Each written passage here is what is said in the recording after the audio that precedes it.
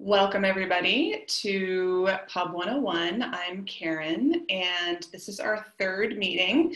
You will recall last week we were here with Karen Bjork and we talked about calls for proposals.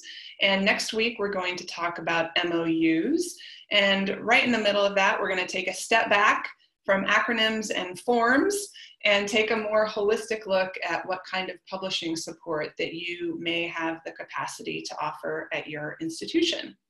Today, we are lucky to be joined by Amanda Larson, who is Affordable Learning Consultant at Ohio State University.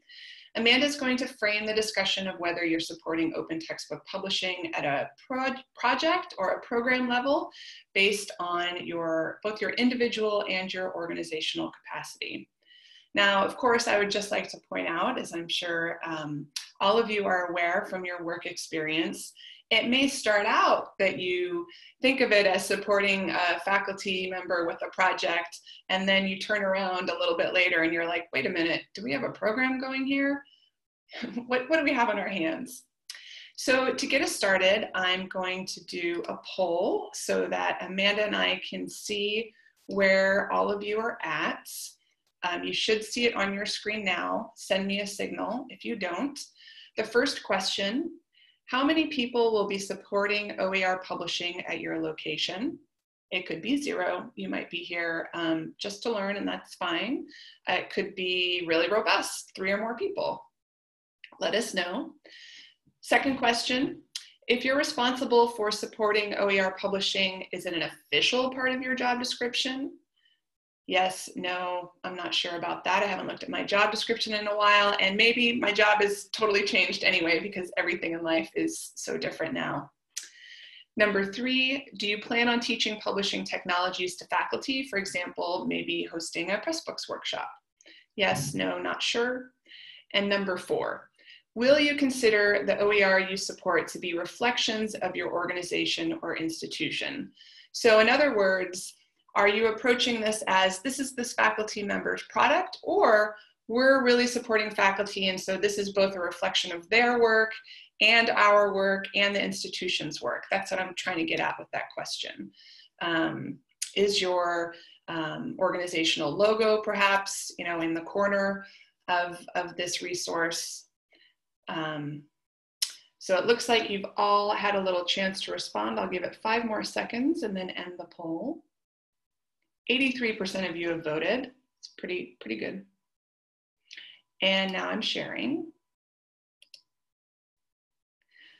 So you should be viewing those results. We're kind of right down the right down the middle between zero, one, two, three in terms of how many people are supporting OER. Same thing. If you're responsible for supporting OER publishing, is it a part of your job description?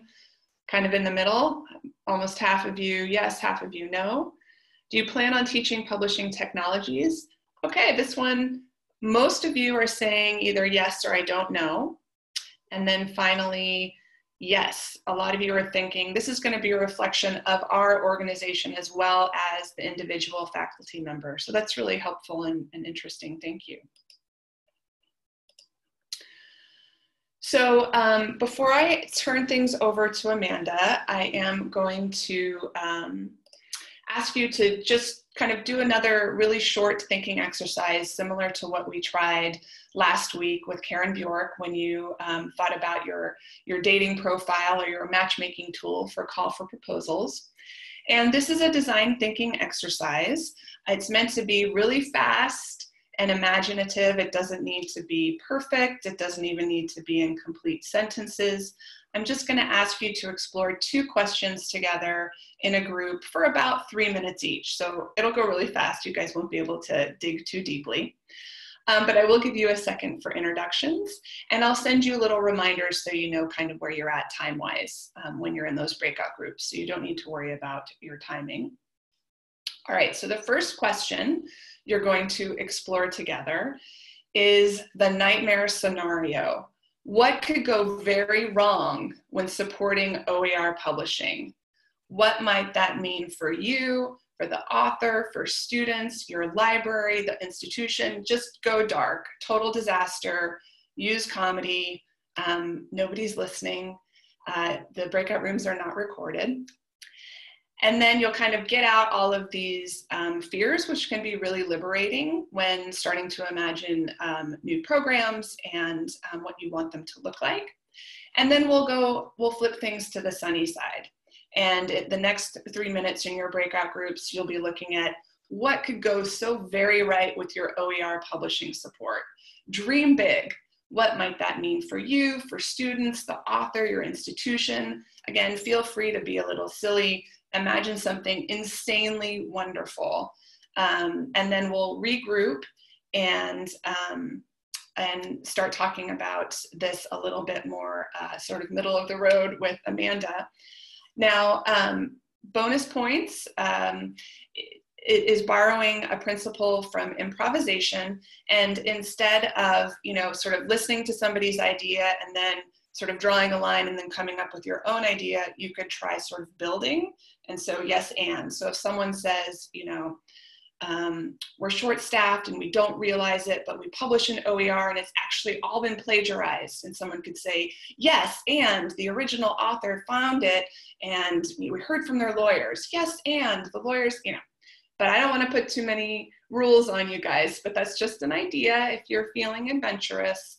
I'm just trying to, to shake things up so that um, you feel free to experiment in your breakout groups. So I'll also copy and paste those questions um, into your breakout rooms so that you don't have to try and remember what it is I just said. Um, and if you have any questions, let me know. Any questions? Check in the chat. Okay, I appreciate your willingness to experiment here. And I'm going to send you into the breakout rooms now.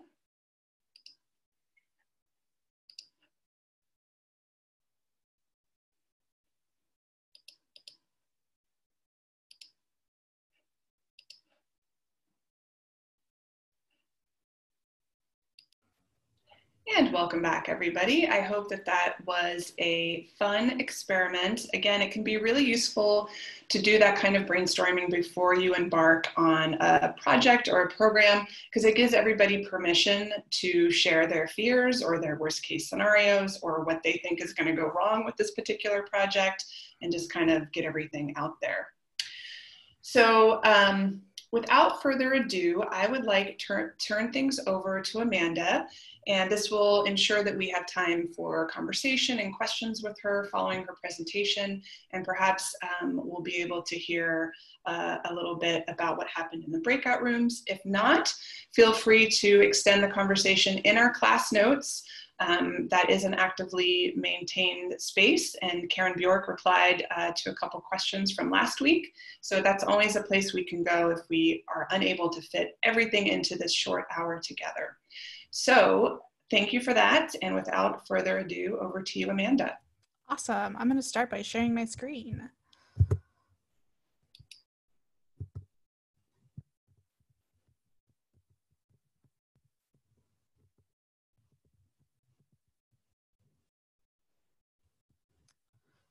All right. So we're going to talk today about individual and organizational capacity in context of publishing programs. And um, I'm going to start just by telling you a little bit about me and sort of my path to this land. Um, so I started getting interested in publishing when I was in grad school the first time around for uh, literature. I had a position as the editorial assistant at the Journal of Narrative Theory, and we started getting um, queries from authors about could they put their articles inside their institutional repositories and we didn't have a policy on that at, t- at the time. And so we started thinking about that and i started thinking about what it meant to publish research openly. And then when i was in grad school the second time i was the open educational resources teaching assistant at uw madison and um, was really introduced to this world of open education and thinking about what publishing might look like. Um, there, it was a real grassroots effort. It was just me and Steel Wagstaff against the world. And um, we had really great faculty who were super interested in publishing because in a lot of their disciplines there weren't textbooks or if there were they were really expensive so for example we worked a lot with foreign languages particularly hindi and tibetan come to mind um, also swahili and um, we also worked with folks who had really expensive uh, science textbooks. So thinking about like all the stuff that goes into biology and, and anatomy books. Um, and I sort of fell in love with the work there. And then I graduated and was like, well, I want to do this for forever. I want to work with faculty and do open educational resources work. And luckily for me, there were jobs to be able to do that. And so I, my first position was as the open education librarian at Penn State and um, there I co led an affordability program which offered grants to faculty to create or adapt open textbooks. Um, and since then, I have moved on to become the Affordable Learning Instructional Consultant at Ohio State. And my role now is working both with faculty um, and I'm sorry, my dog just jumped in front of me and is being really cute and sneezing. So I apologize if you can hear her. Um, and so I work with faculty and who are participating in the Affordable Learning Exchange, which is run by Ashley Miller, and they've have a very well-established publishing program. And I also work in the libraries thinking about like how do I teach other librarians about open educational resources and open pedagogy, and then how can we teach faculty about open pedagogy. So it's allowing me to work more closely with faculty than I did at Penn State. But I'm still connected to a publishing program of some sort. So when I think about publishing programs, I think that there are really two approaches. Um, one is uh, do it yourself. Oh, she's going to make an appearance. Uh, one is the do it yourself, one person or small teams. And um, it's really important when you're working at a small team level to figure out really what you have the capacity to support because if you're the only one doing the work, you can get bogged down really fast if you don't sort of outline a structure for yourself. And then the second one is sort of thinking it as a publishing program that's going to offer a suite of services to faculty. So a lot of these bullets will match up. Like they both need to identify the support. You both need to figure out what the expectations are, what clear communication will look like, and then what models you're going to do. So in do it yourself version, you're probably going to do a lot of teach the teacher. So you're going to learn a technology potentially, and then you're going to show faculty how to use it, and then maybe support them using that technology. So for an example of that, when I was at UW Madison, we had Pressbooks. We had that access to that through the Unizin Consortium. And so that was the tool that we used to publish with. And my role was to work one on one with faculty to identify what their textbook needs were, and then basically give them like the tour of Pressbooks, give them a little bit of training, send them away, let them play with it like a sandbox and figure out how it worked for their needs, and then bring it back if they had questions. Whereas in a larger publishing service, you might have somebody who does sort of that production work for the faculty member which was the case at Penn State. We had two instruction production specialists who put all of the stuff into Pressbooks for faculty and um, did a lot of that really heavy lifting of like building the thing. And then I think at either version, you're going to want to build a community. And then um, one thing that I always think about in this work is how can we continue to um, take care of ourselves while we're doing this work? And I'll talk a little bit more about that later. So identifying support. Um, and when I'm thinking about this, it's it's what do you have, what services do you have the capacity are willing to support? Um, so it could be that at your institution, the only thing you can really support at this time is helping faculty identify and curate OER. Maybe you don't have time to like work with them on brand new work. So you're just working on adapting and remixing works. Um, but maybe you do have capacity to author new works and thinking through what that looks like and what your support will be. Um, what tools can you offer to faculty to create or remix works? So there are lots of different places that OER can live.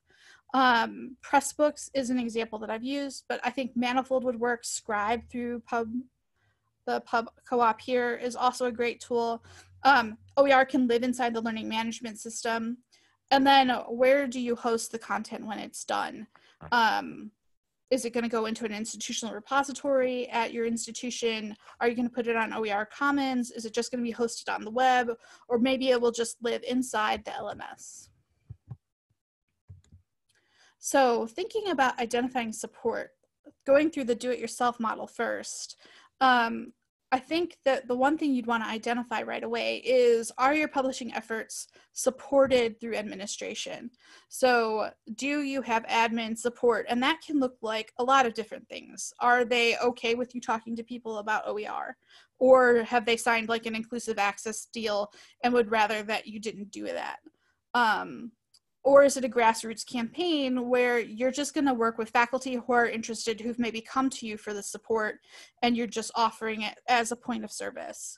Um, administration might support might also mean there's money for oer um, and that can look like a, a lot of different things. It could look like uh, getting you more help. So maybe you could hire a student to work on it. Um, or maybe you can offer stipends to faculty for participating um, is it just you supporting all of the OER publishing efforts at that institution? Is it a small team? Um, so, like for Steel and I, it was just the two of us. And then after I graduated, he was able to secure funding for another OER teaching assistant. Um, so there were still two people able to work on it at the time. Um, are there a few collaborators you can lean on? So are there people who have expertise that can help you? Um, and that can be anything from um, people who are familiar with HTML who could maybe look at some CSS for you. And then also thinking about like, can you get a student worker? Could you secure a teaching assistantship for a graduate student? Um, could you hire copy editors if like everything is ready and set to go, but you just need somebody to do that look and that's not the last look over and it's not in your skill set. Now for a publishing program, this looks a little different because it's going to be probably a much broader uh, program, it's going to have more reach. So, administrative, which administrators are supporting this effort? If you have a program, it is probably it's supported by some administrator somewhere, whether it's just within the library or maybe larger. Um, and that would be institutional support. So, does the support come from the top down? So, president, then the provost, or then the unit? Or does the support just come from specific units? So, the difference that this could look like so, at Penn State, um, all of our initiatives were provost funded and had provost backing. He really cares about affordability. But I have seen other instances where it's just coming out of maybe teaching and learning. Um, financial, where's the money coming from? It's always good to figure out that out right away. Where's the money coming from? And then who's on the team? Who's doing the day to day work? Who's doing sort of like the reporting of numbers up to the administration? Um, and then who's working sort of on the ground, hands on with faculty? So identifying partners, this is going to look different in both contexts. So I would say that you probably want to build at the institutional level a working group of stakeholders. And you'll notice that I put students on there first. Um, it's really important to have student perspective as you sort of build these programs out because the materials are meant for student use. And so it's really great to get their perspective. Um, and then libraries, the Center for Teaching and Learning, this might be called something else where you're at. Um, it could be faculty, the bookstore, your academic press, um, academic units, or institution specific units could have an interest in this. So, for example, um, it could be like instructional designers would be great fit. And you're going to really want to define expectations. So once you've identified what and how you can support a publishing effort, um, so we're just going to help people adapt books and we're going to do it in one specific tool. That's an expectation.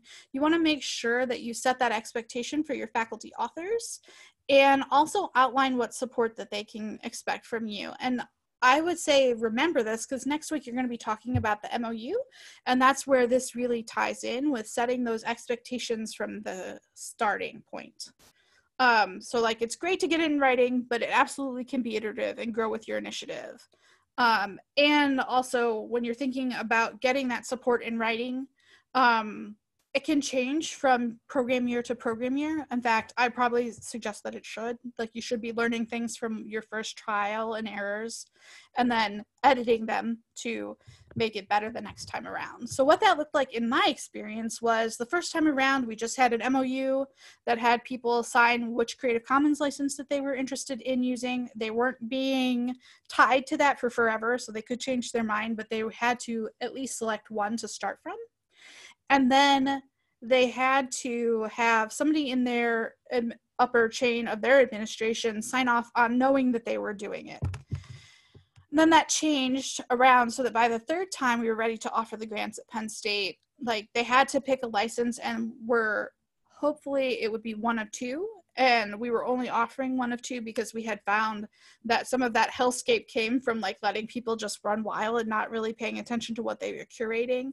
and making sure that the creative commons licenses played well together. So we wanted to like really help them avoid those pitfalls. So we were like okay this time you're going to select from one or two licenses and um, you still need your support but we also want you to give us a work plan so that we know what you plan on working and how that will look to begin with then they're going to have to define roles. Who's going to do what? What do the faculty do? What do you do? What do your collaborators do? So, where does it make sense to collaborate? If you have access to instructional designers, can they help faculty create learning objectives and goals for the materials so that they're starting from sort of like a point of this is what I want them to get out of it? My students are going to have meet these learning objectives and they're going to be able to meet them by doing what?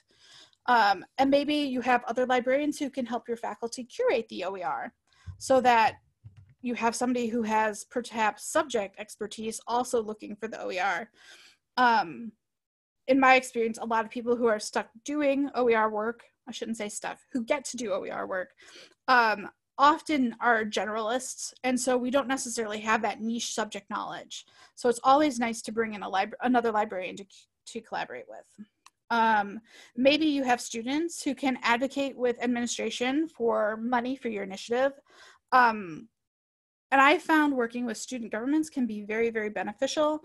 A lot of times they care about affordability and they're running on like affordability platforms to get elected into those positions.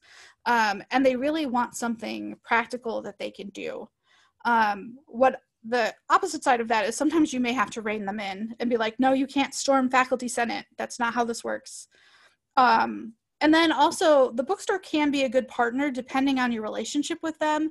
And maybe they can help identify courses or provide print copies of the OER at cost for students who would like that option. Clear communication. this can't be stated enough. Um, a lot of your work as a project manager for a program, whether you are doing it by yourself or you're working with a whole lot of collaborators, is going to be about clearly communicating with all of the stakeholders in the publishing initiative. So I would say be as transparent as you can be. So if something is falling apart, you have to be really honest with your stakeholders and be like, this is what's happening. X won't be finished by this time because these things have happened. Um, or it could be like things are going really great. We have done X, Y, and Z, and now we're ready to pay out faculty for this. Um, and I would say create shared language really early, if not before you start. It might be something that you really start building your program around is like, how do we define OER? How do we define affordable? Um, what does it mean to be participating in this and then make sure everybody is sort of on board with that same shared language so that you can all talk about it in the same way. Um, create an mou for authors that clearly details what they are agreeing to do and articulates what you will do to support them. And then sit down with them and make them read it and read it with them um, communicate regularly with stakeholders. So that could be everything from as like little updates about how the program is going to larger institution wide things like making sure that the if the provost is investing money in the program that you're getting return on investment numbers for student savings to back with them. And then communicate regularly with our authors. Just check in on with them. Faculty differ. Some of them will want a lot of hand holding. Some of them will want to just be like show me how to do the thing. I'm going to go do the thing. And then I will come back to you if I have questions or if it is finished. And so being sure that you're checking in with them will help keep everybody's projects on track. So teach the teacher. If you are in the DIY model, you are probably going to have to do a lot of this. So you need to teach your authors to be self-sufficient and self-starters. So what I mean by that is they have to be able to like actually sit down and make themselves write if they're writing and authoring a textbook. Um, and you can provide training for them with tools and licensing. Um, maybe you want to offer them some information around open pedagogy about how they're going to use that resource in their teaching, and then offer support for follow up questions. So make sure that you provide time and place for them to ask questions, to ask each other questions about how they're using the materials or how they're working with a specific tool is always really helpful. Build a community. And I believe this wholeheartedly. It is dangerous to go alone. Take a cute kitten with you. Um, start really small, particularly if you're in sort of that DIY model. Um, support only many projects as you have time and capacity for, and then grow over time. So it's really okay if you start with just one or two textbook projects and then say, hey, you know what, that went pretty well. Let's add one more, and then build up your capacity slowly um, even if you're starting at sort of the institutional level where you can say, I have $10,000 to give out grants to faculty, um, that doesn't mean that you need to give out all of that money right the second. You could sort of stagger that so that you can work on figuring out what your capacity for supporting those projects is. Um, start, start a community of practice. So I think it's really really can be really really isolating doing this work whether you are the person doing the support or you are a, an author working on a book it can be really isolating. And they're unless they're already working on a collaborative project they might feel really alone. Like i have questions but maybe they're dumb nobody else will have them. Um, so i like to always introduce authors to each other. So what that would look like um, at the program level, say you have a kickoff and you have everybody come in for a day long workshop about getting started on their project, and you have them introduce each other themselves to each other, have them share their projects, discuss what's working and what they're struggling with, maybe at a check-in meeting later on, and really enable them to not feel alone in the process of creating OER. Um, there are other also ways that you can help them find collaborators. So, like you might leverage the Rebus community to help find people to help them work on that book. But the important thing is just make sure that they know that they're not alone doing this work. So, self care, like I've already mentioned isolation, but I think that there's a lot of invisible and emotional labor that goes into supporting these kind of projects. Um, and it's work that librarians and instructional designers often do that's sort of like invisible and behind the scenes. Um, and it might be a lot of tough conversations. Like you might have to email somebody and be like, hey, where's your manuscript? Um, people might be upset at having to use new technologies. There's always some sort of technology fear I have run into. Um, and helping people work through those can be very draining and emotional. Um, and so when I worked at Penn State, I started and it was really just me by myself and I was in an office in a tower literally. Um, and I didn't really interact with my coworkers. I kind of just worked on my grant project. And so like building a community outside of that was really important to me. And you already have a community built in right here. Um, so take take advantage of that and leverage it. Um, this word can be hard, but it does not have to be hopeless. We've moved from a tower to a lighthouse. Um, so one of the things that I think is really important is sort of building your network, and you're doing that already by participating in this. Um, and you'll have people to lean on and ask questions to, and you could just be like, "Oh, I've had this horrible day this is what happened in my publishing program. And you'll have like a group of people who understand what you're talking about and can really commiserate with you and can sort of like help you work through those issues. Um, but also set boundaries. Um, you don't have to drop everything you're doing to work on that faculty member's project right that second. Um, make sure that everybody is meeting the expectations that we've set for each other. For the tough questions, I find it is really helpful to pre plan answers. So um, you will get people who will ask you questions about like the efficacy of OER. And um, there's always one curmudgeonland person who's like, I've heard that these are have terrible quality. And um, just have answers ready to answer those kinds of questions. Like just sit down and brainstorm some. And you also don't have to be the master of everything. Um, this is definitely an ex- a place where there's a lot of learning on the fly. So don't feel like you have to be the best at every single part of it. It's helpful to know like when to refer to somebody else or when to get help and ask for help from your network of peoples. So considerations to keep in mind. Are there differences between your personal capacity for this work and your organization's capacity.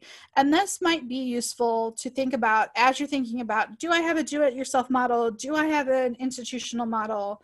If I have an institutional model, how does my organization's capacity differ from mine? If I have a do it yourself model, my capacity is much more important to what's happening because I'm the only person sort of steering the ship.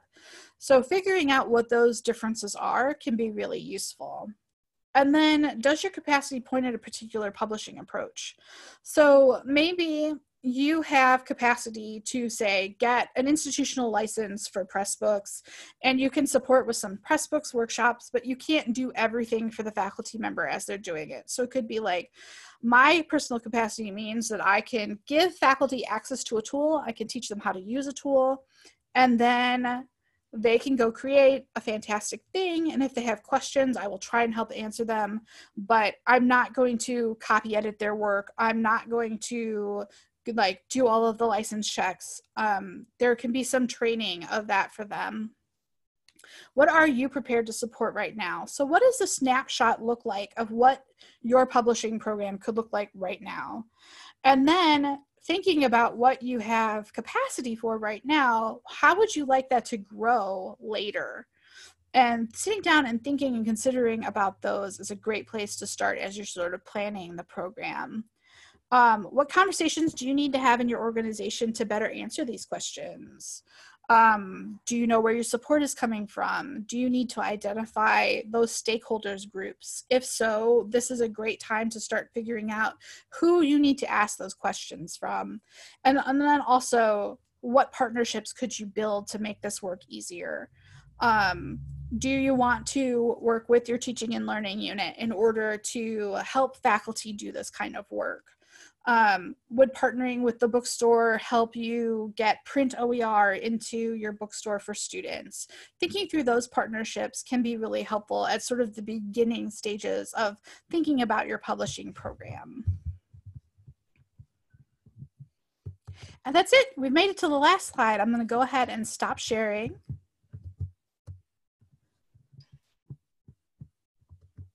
Thank you, Amanda.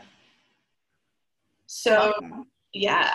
So um, Veronica had a great tip in the chat that stressing that open resources used for courses need to have a Creative Commons license and that that's different from just something you find on the web can be helpful. And that is so true. I hear time and again that those are also repeated conversations. And it's one reason why I think it's really helpful if you are supporting someone on a project to ask to see their first chapter. Hey, what are you working on? Let me take a look and then you can see, uh-oh, you know, I don't know where these images came from, you know, the attribution isn't clear. And so that way you can identify that issue early rather than, you know, 15 chapters later. Um, Elle, any strategies for including student voices? Previously, we've worked with student representatives who are already involved with campus governance. This opened the door for creating work study opportunities for students, which also increased visibility on the student side of things. Amanda, any thoughts? Yeah, I think it really depends on sort of your institution's context, like everything. Um, mm-hmm. but I have found that starting with student government is a great place to start. Um, they will usually have somebody who is really willing to talk to you and um, what how that worked for me in the past is we reached out to student government and said, "Hey, would you like to have somebody from your organization serve on the institution-wide open educational resources working group?" And from there, we found out that they had been like working with faculty senate to like try and push through a transparency like clause that people had to disclose how much the co- the materials for their courses were going to cost. They were trying to work with the registrar to make those appear in sort of like the um, system where they sign up for classes. And I think that it's probably pretty easy to find they can help you find students if that's difficult. Um, library students already working in the library or in your unit can be a great resource. Um, and there's lots of different kinds of things that you can do to get them involved. So student government is one avenue, but you could also have them working on the project. Um, we had students who did a lot of um, checking licenses for us um, and also helping faculty uh, curate content was another avenue. Like they could go and do an OER search for them. Um, and just making sure that you're using student voices wisely and really making them feel like it's an engaging experience. Like they're not just there to do a thing for you. Like we also want them to get some education about like copyright and oer so that they understand the work that they're doing. Um, i really believe that all engagements should be student engagement opportunities. So i will not get on my soapbox about that Thank you, Amanda, and thanks to Arnie, who um, is sharing some some links in the chat about uh, College of the Canyons and um, looking at them as a model for training students to help faculty publish OER. Um, Veronica mentioned her challenges, including the bookstore, a rather fraught relationship with OER because they always want to push their open wrapping platforms or first day initiatives, things like that. Um, Veronica, I put a link in the chat on tips for partnering with your bookstore. Um, Amanda, is there anything you'd like to add? Um, I was really lucky at Penn State that the bookstore was sort of already on the page, but we definitely had a fraught relationship once they started creating their open wrapping program. And what we worked out was that um, we ended up doing sort of like a string of workshops together where they would talk about their open platform and um, and we would then talk about like OER. So the faculty were getting both messages at the same time, and we were sharing space together. And um, but it did it it was get as inclusive access becomes more popular, it was getting more fraught. So um, that is definitely a challenge, and the best I can say is like do the best you can in that situation. Um, I like I'm going to steal Sarah Cohen's thing of like, let's not demonize the bookstore. So make sure that like when you're in meetings, you're not talking poorly about their product necessarily. Um, you can just like hand wave at it, and the bookstore has X Y Z as an option as well. Um, and now in my re- role now, um, we do have sort of like an inclusive access program that is run by the Affordable Learning Exchange so that is also something where it's like we have to also be mindful to make sure that we mention that this thing exists too. And so what i've been trying to do is balance that with also library resources which is are things that students tuition are already paying for. So here's these library resources and sort of treat it as a spectrum. So there is free on the web all the way to like inclusive access which is in a proprietary closed system and make sure that we sort of like define what those different steps are on the way. So there's free things you can link to, there's library resources, there's open educational resources that have XYZ benefits, and then where you also have access to this other program of inclusive access stuff. Thanks, Amanda. So John's question in the chat, how do you approach the issue of incentives besides money for faculty considering that many don't receive promotion and tenure credit for either textbook writing or OER publications. If they are not intrinsically interested in saving students money, what else could motivate them? if they are on the tenure track, I have found talking to them about it as a research opportunity is very successful. So while they might not get credit for writing the thing or using an OER in their classroom, a lot of times it is a giant hole in the research field in their discipline. And so it would provide them a place to really carve out a niche for themselves. And so I talked to them about not only can they publish about this process, um, but also they can sort of like build a name for themselves that way because they're always looking for where they can enter into the conversation and sort of like have the thing that is special to them. And I have had really good success with that. But also, I will say it is good to know when to just let a faculty member go. Like, don't feel like you have to always be spending all of your energy to try and convince them. There are other people who will adopt and do the work. So, like, figuring out that balance is also very useful.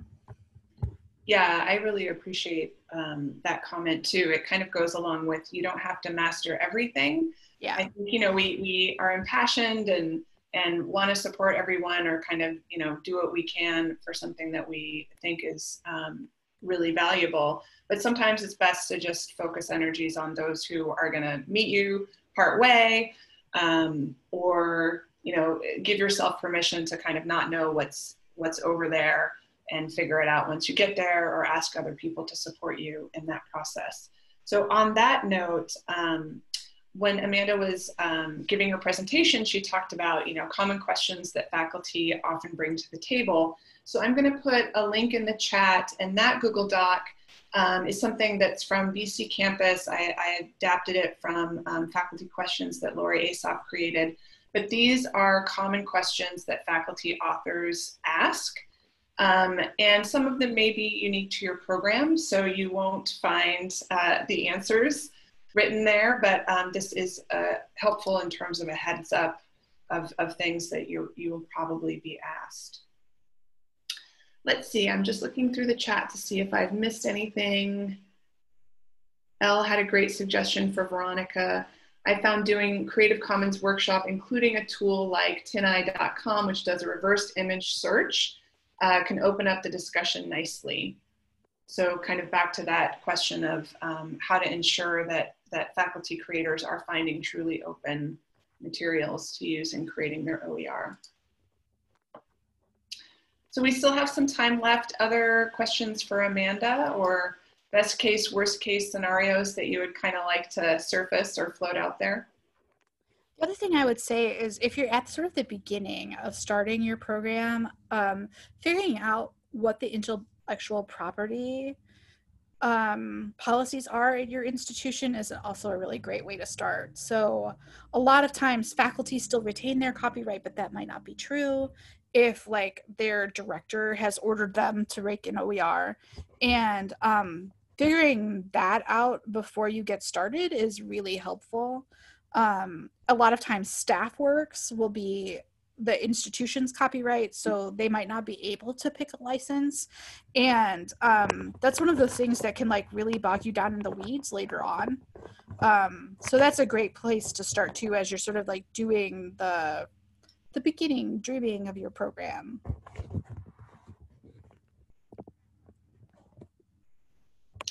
Joshua's question in the chat, Google image search can sort by copyright as well.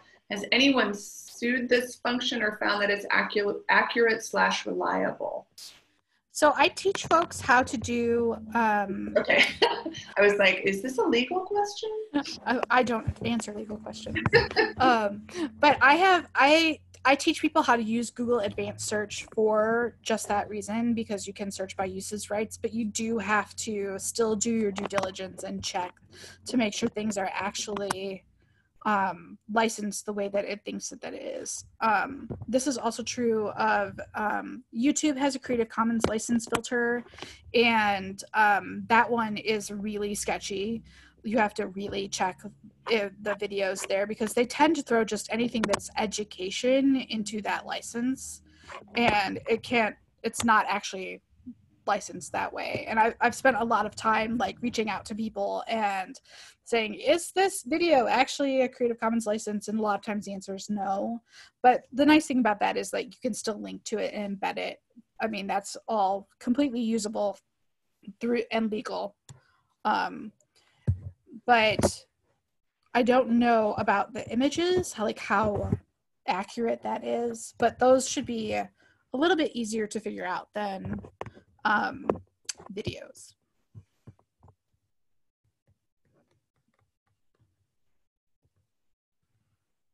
Thanks for your question, Joshua. Other questions? Feel free to unmute too if you prefer to have your voice heard.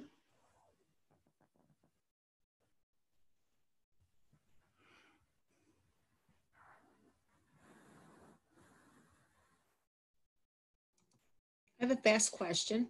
Mm -hmm. we're early days uh, at my institution, and I keep hearing you mentioned today, Amanda, several times Pressbooks. Can you tell me a little bit, tell us more a little bit about that for those of us who are kind of new to the game? Yeah, um, so Pressbooks is a WordPress based platform. So if you're familiar with that blogging tool um, and site building tool, um, it's sort of built on the same framework, but it started as sort of like a vanity press. Um, so people could self publish their works there. And since folks in academia have sort of really been interested in creating OER, they've really sort of pivoted into um, making Pressbooks support open educational resource publishing um, a lot um, more than necessarily like still keeping the vanity press. Like you can still go to Word to pressbooks.com and do the thing there if you want, but um, they um, it creates um, basically web readable books and in a lot of different formats. So you have a lot of export formats, and it is really easy for folks to use. If you use Microsoft Word, you can author inside of Pressbooks. Um, and as it has aged over the years, it has added more things into core Pressbook. So, for example, you might hear about H5P, which is an HTML5 plugin that allows you to make um, formative assessments. So, you could do like quizzing or you could do like an image hotspot, and those can be embedded directly into the webbook. Um, and um, they also have built Hypothesis, which is an annotation layer, is also part of Core Pressbooks now. And so that would allow folks who have Hypothesis accounts to annotate on a book. And there's like a lot of open pedagogy things that you can do with that and build out assignments where like students annotate or you annotate things to help clarify for students. So it has a lot of um, affordances that really take advantage of the web as its um, place that it lives and um, it's just one of many publishing tools that you could use to create OER. Thanks, Amanda. I would also add that Pressbooks is one of our partners, and we do provide a sandbox space for institutional and allied members, and then a limited sandbox space decided um, if you're a consortial member, your uh, consortial lead will decide um, which sandbox users to, um, to accommodate but that is a benefit of your OT, OTN membership. And then we also do um, periodic training and other support. So like the publishing co-op just had three hours of Pressbooks training with Steel and Liz. And um, coming up at OTNSI, which will be online this year, um, we are going to have additional Pressbooks um, training, including how to teach Pressbooks to faculty. So there will be more to come um, that is Pressbooks specific. Catherine says in the chat, I've been following Pressbooks for a while. Seems like it's pretty good with ADA compliance. And the VPAT for H5P lets you see what quiz types are ADA friendly. Thanks, Catherine. Um, and then Deanne is asking if, does anyone know if an updated comparison chart of platforms, this one from three years ago? I look forward to seeing the one from three years ago, Deanne. I know this would be really awesome. I've had conversations with Library Publishing Coalition about it. Um, I don't know if there is one more recent than, um, than what you may be looking at, but I know it would be really helpful. Um, and I also know that we only have two minutes left, but maybe we can squeeze in John's question. Will any of these Pressbooks trainings be made available to members as a recording or slides later on? of course, John. We will definitely do that. Um, so that resource will live forever on YouTube with a CC BY license. So we've come full circle in that conversation. Um, I will also, by request, um, go ahead and just remove the part of our chat that has all sort of the, the link heavy um, content, and I'll put it in our class notes. Know that you also have the option of clicking on those three dots in the bottom right corner of your Zoom screen and sharing the chat that way. I will also add the faculty author FAQs that I put in here. Um, and I look forward to seeing you all next week when we will meet with Carla and talk about MOUs. And uh, Amanda mentioned at the start of her presentation that establishing shared language is really helpful as you get things off the ground with your authors. And so the MOU will help codify that shared language. Amanda also mentioned sitting down with your author and reading through, you know, what the plan is rather than emailing them the MOU or their plan. And I, um, I just really want to agree with that. And you'll probably hear the same thing from Carla next week. So please review Unit 3 and you'll find a quiz at the end of that Canvas unit and watch the video implementing a publishing program. And before you go, please join me in thanking Amanda for joining us and thank all of you for your questions and engagement. Until next week, farewell. Thank you as always for having me.